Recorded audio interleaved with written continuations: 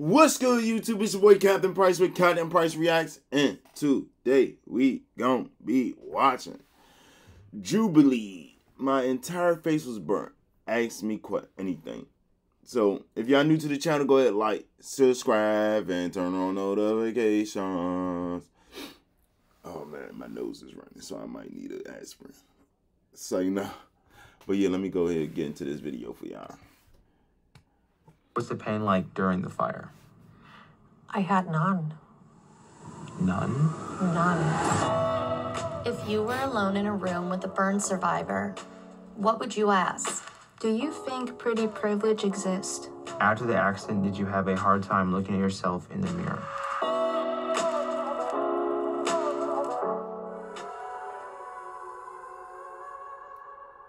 Hello. Hi. How are you? I'm good. How are you? Doing great, doing great. What's your name? Jay. Jay, it's lovely to meet you, Jay. Same here. Do you mind talking about your accident? Sure. I lived in Puerto Rico. It was in 1998 after Hurricane George, and we didn't have electricity for more than a month. And I had a couple of seizures, and I went through several um, neurological studies. I had um, glue on my scalp. I had to remove with some type of oily substance.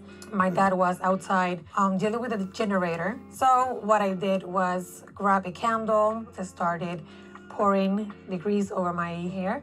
And when I leaned forward to see myself better on this area on the left side, that's where my hair actually slipped over my shoulder and touched the flame, the candle. And in less than a second, I was just a human torch. That must have been really difficult. What was the pain like during the fire? I had none.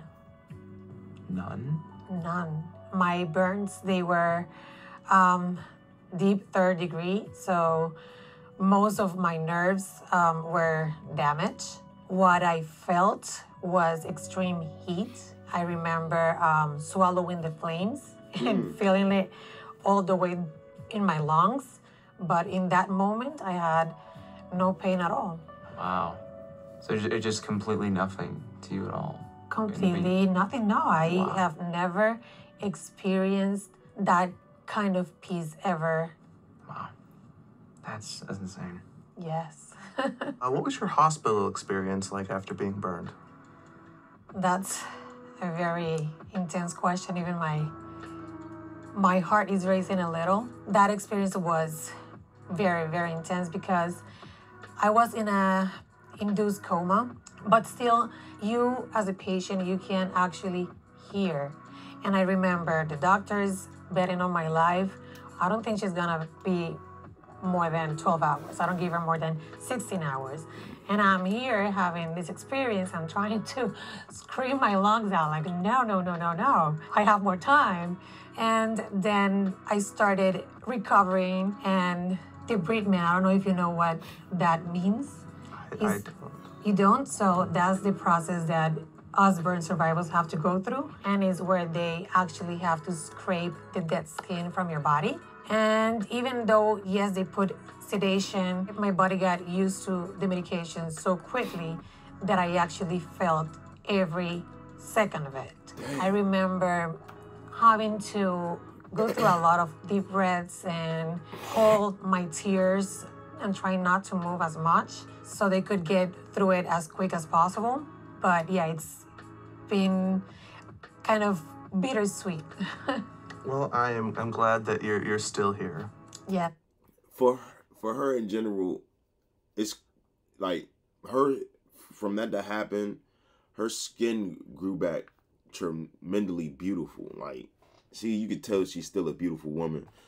Um, like the like you could tell it was bad, but then you could tell that her she took she took some good medicine. Like, I don't know if he had she had a skin transplant or what, but it John like you could totally tell to be honest. Thank you. About the accident, what triggers you and how do you cope with it? when I'm close to a fireplace or a bonfire where I feel like extreme heat, I feel it and I get that feeling of the moment where I was actually swallowing the flames. But what I do is I just breathe, and even though I've been through so much in life, I'm still here. I have a second chance, and I'm trying to make the best out of it. Do you feel that your your quote unquote normal day to day life has changed and, and how so? I do have certain physical limitations and my skin it's so tight, especially around my neck, that my skin pulls. It's very hard for me even to sleep. I get spasms pretty much every single day and I get migraines and my hands sometimes they don't work completely and that could be a little bit frustrating because I want to do so much. Have people treated you um, differently or even looked at you differently in any aspect? Do you ever feel alienated in your day to day life? Like, do people, do you feel people looking at you weird? Oh, yes, definitely. I've had people that ask me if I wanted to. Another thing, I know I'm probably pausing it like shit. My nose is running and shit. Daggone is that her what she went through is like life changing. It changed your life tremendously. I've been through something not a fire, but I was in a critical shoe in that. I, it was a ninety percent chance I could have lost my life at one time. Like my right arm is still seeing effects from it. I had to regain my nerves. My lung won't never be the same. It's a lot. Like I, you, certain things you'll never. It's like you're you're it, it, you take life for granted, and then certain things like that and what happened to me, you would just sure, surely enough just don't take life for granted. Every little it's the little things that count.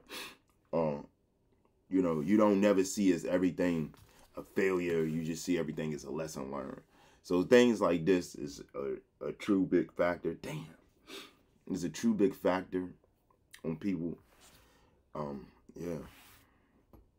myself if I ever contemplated suicide, if I feel ashamed for the way that I look, my skin. If You I go to a restaurant, I've had situations where I had someone across the restaurant just completely staring at me, and I'm here like, man, if you seeing this, you are beautiful. If you seeing this, you are beautiful.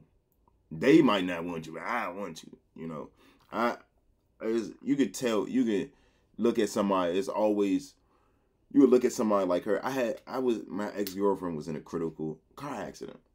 A lot of you know they had to reconf- reconfigure figure her face, all that. I can see beyond that stuff. You can put every if you if your if your mental is like that and your your brain capacity because everybody don't have brain capacity you could put pieces together and you could see beyond that and see the beauty and the beauty that was there and still is there so don't listen to people that like don't don't listen to people ain't nothing wrong with you miss like for real you yes, are I still have a beautiful mouth. I eat just like you do. I drink just like you do. I walk Exactly. just like you do. But yes, society has been very cruel. People have Society spat on my up. face, pulled my hair, just trying to see if I have a wig on or not. Um, I've been called scar-faced, you name it. that's fucked Wow. up Do you think pretty privilege exists? Yes, I have actually witnessed that. So, as a teenager, I wanted to apply for a job at a store, and they said, No, we're not hiring. And two more girls come in asking for an application, and they got the freaking application. And I'm here like, Oh, wow. So, just because I'm burned means that I'm not good enough to work. So, unfortunately, yeah, that happens quite often.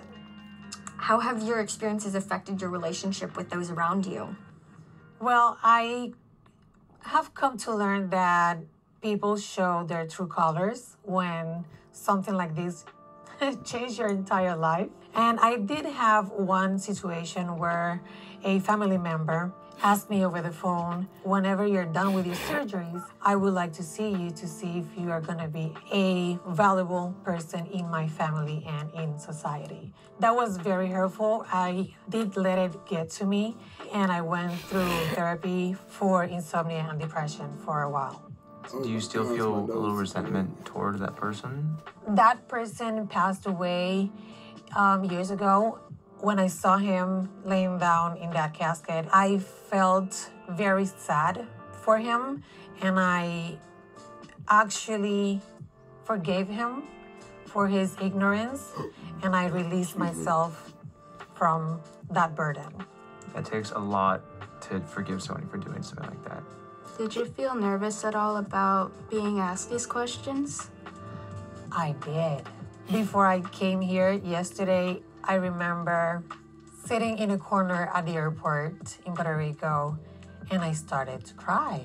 The fact that I have the opportunity to bring awareness is very special to me because it, it needs to be done. It needs to be done.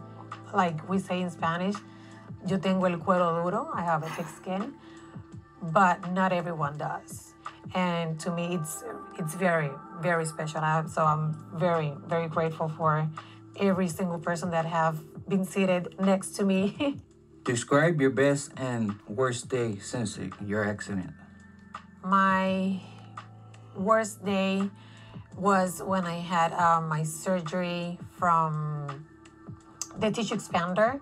They had to put a skin graft on the center of my head. The pain was insane. That I think that was the, the worst that I've had. My best day, I have two, and is the moment I met both of my daughters when they were born.